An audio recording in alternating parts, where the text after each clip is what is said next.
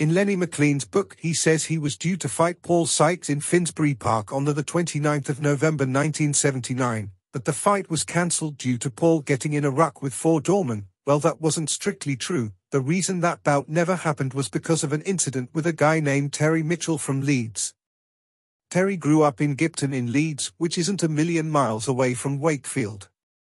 The year before his run-in with Sykesy he actually went to watch him at the Theatre Club in Wakefield when he beat the American Dave Wilson in 1978. That was the first time he had clapped eyes on Paul Sykes as he had always been in prison prior to that.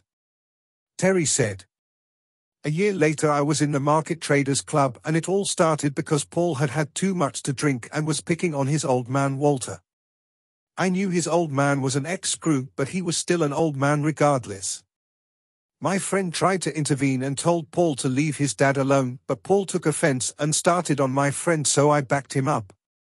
I knew straight away that I was not going to trade punches with this fella as he was a trained professional boxer but he had on a really smart jacket so I grabbed the lapels, dragged him close to me and head-butted him a few times then swung him around the bar a bit for good measure. I stayed close to Paul and I never let him get the distance that I knew he needed to get a decent punch in like he had when he did so much damage to that poor American bloke the year before, when he hospitalized him for a month. There was a lot of grappling for what seemed like forever, but the real damage was done when I kept butting him then spinning him around. I was 28 at the time, so Paul would have been 33. We were both fit men at the time at the peaks of our lives so even though we'd both had a good drink we both fought hard. Paul gave up fighting me after a while and said we should both sit down and have a drink together. Afterwards I was covered in blood but I never had a mark on me. Paul was really busted up bleeding from the nose and a deep nasty cut above his eye he was cut all over. We both sat down drinking and I remember Paul being in such a state, he sent his friend Mick Sellers, who was a professional wrestler of some sort, back to Wakefield to get him a new shirt. I wasn't completely comfortable sitting drinking in Paul's company considering I'd just given him a good hiding.